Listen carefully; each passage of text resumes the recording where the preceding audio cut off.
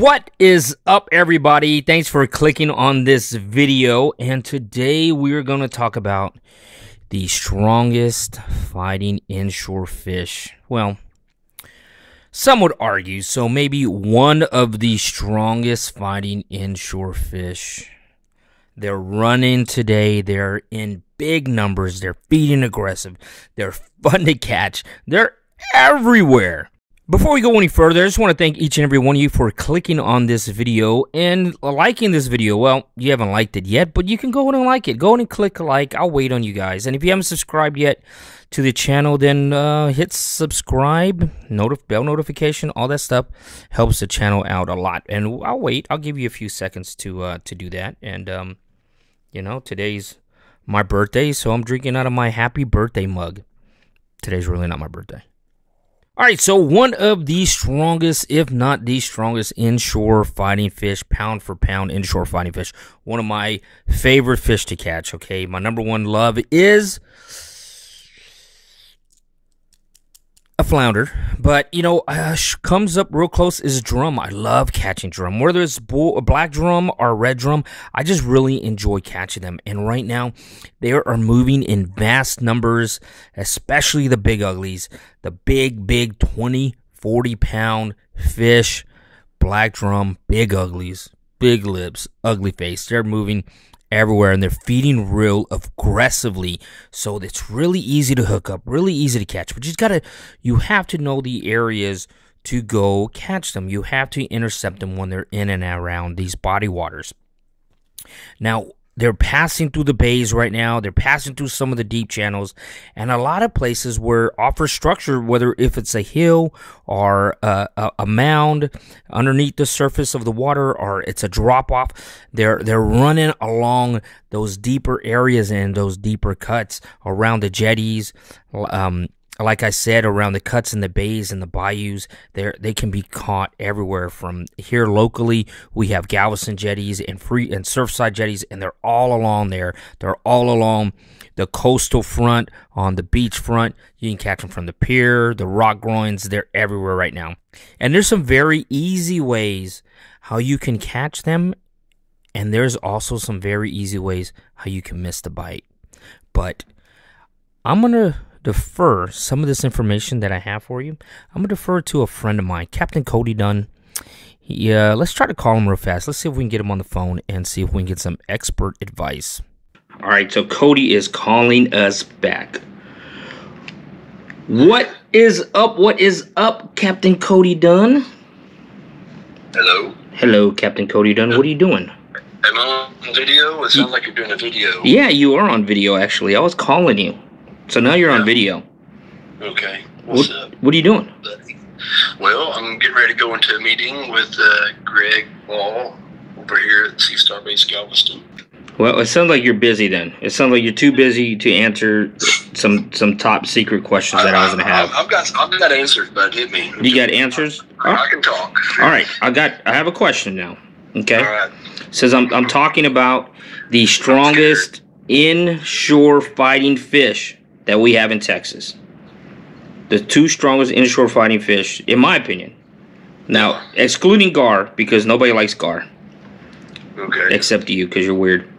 But is big uglies. I'm gonna, I'm gonna, I'm gonna throw one at you that you're not thinking about. Which one am I not thinking about?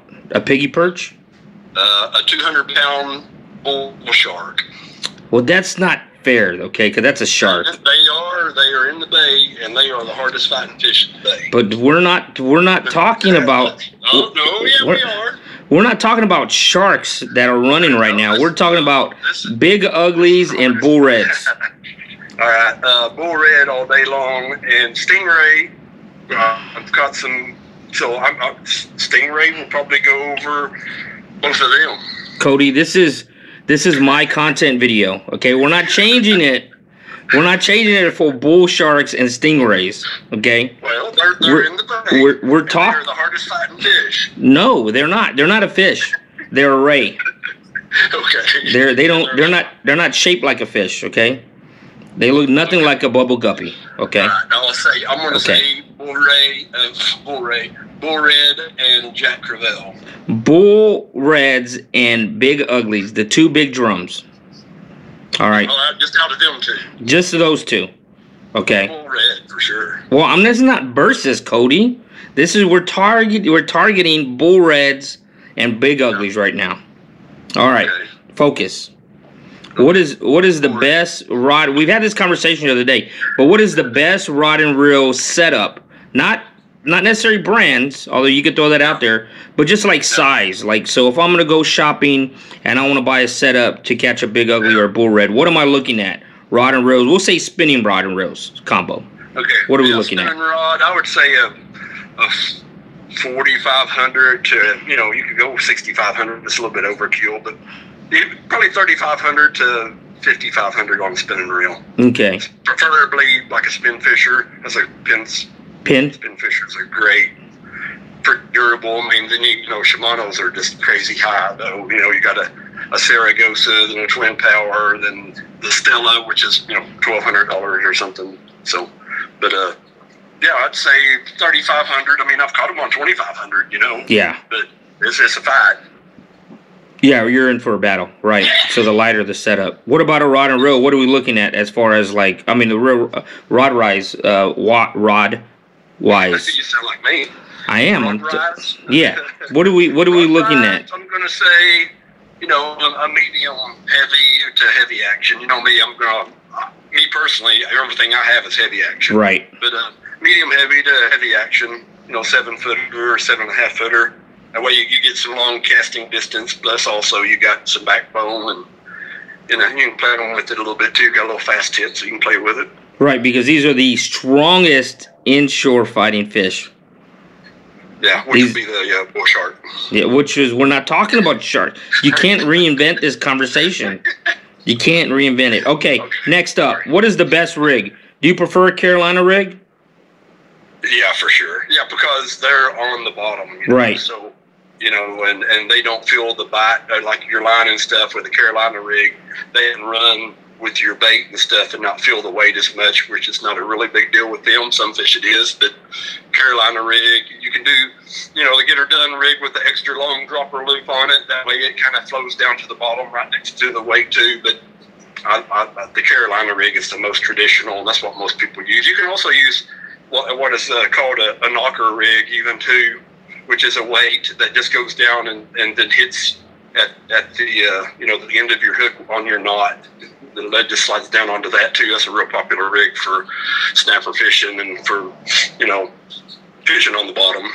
Now, do you what I prefer the Carolina rig. what what size test line do you like to use? Leader line.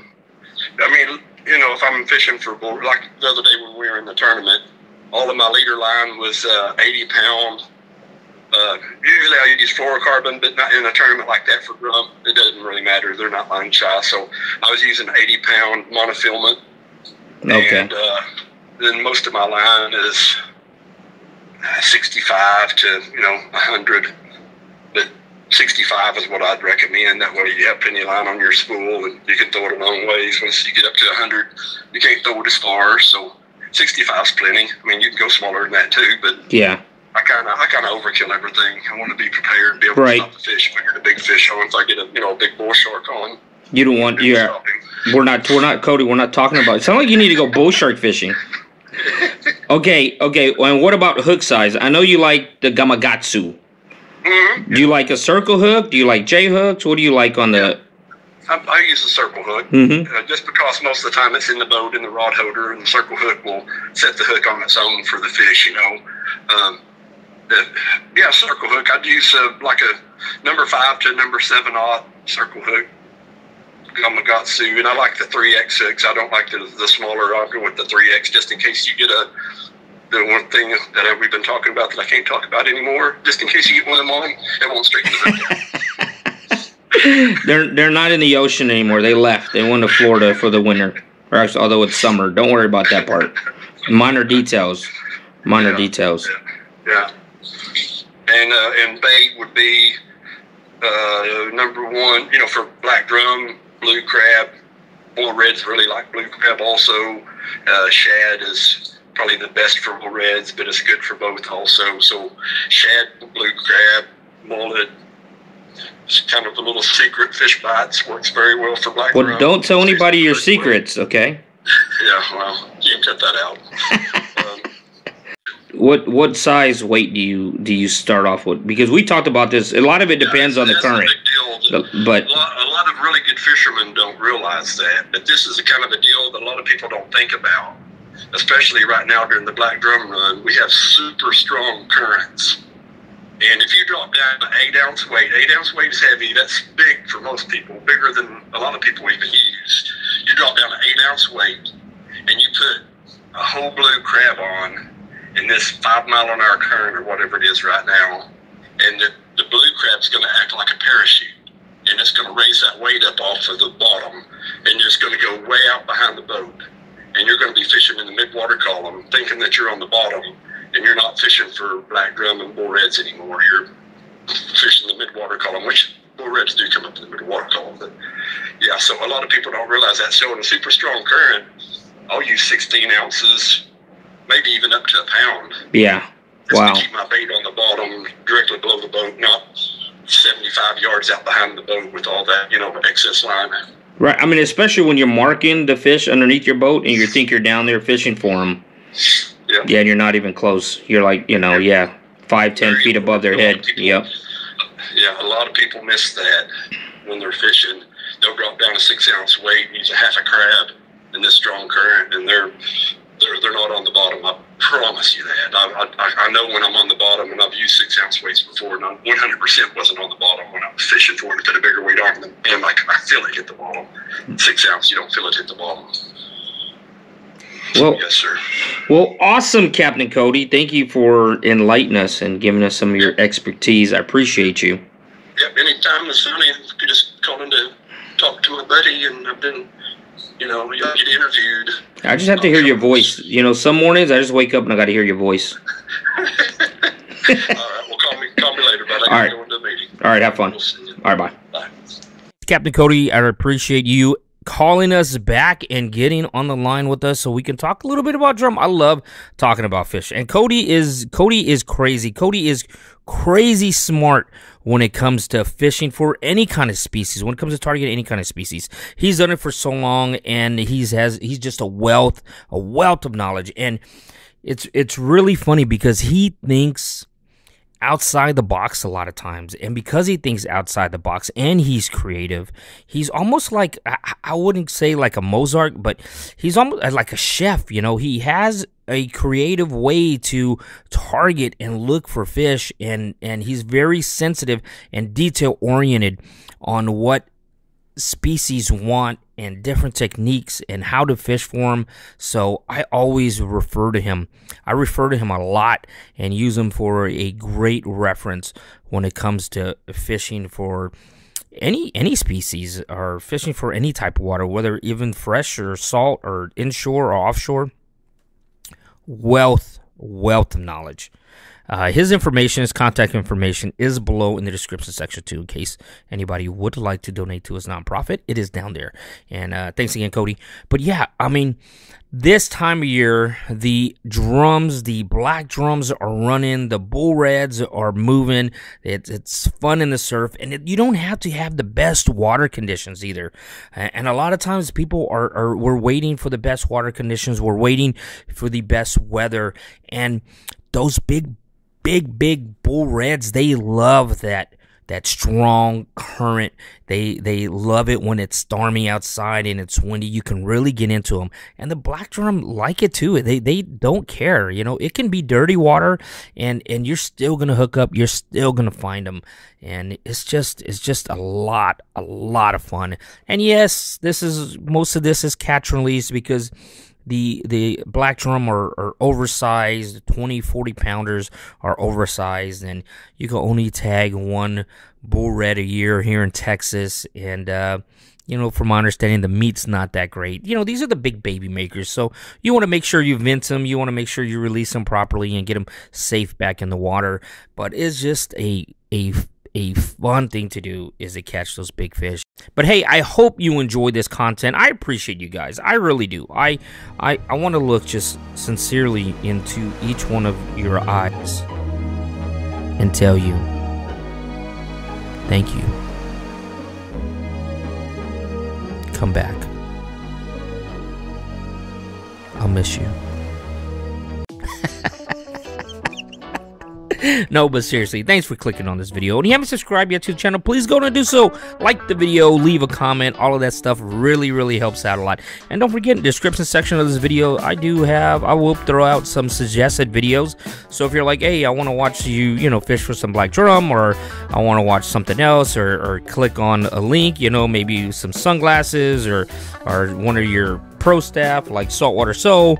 You know, there's links in the description section of this video, and uh, that that will take you over to some more of that detailed information because it's not over yet. You know, you can watch Texas all water fishing all day. Uh, I'll pop up. Uh, at the end of this video, I'll pop up a subscribe button and a suggested video for you, and you can just keep watching all day long. Just sit there and like binge watch Texas all water fishing. It's great. It's good for you. You grow your knowledge, your fishing knowledge will just get bigger and bigger and bigger and bigger and bigger.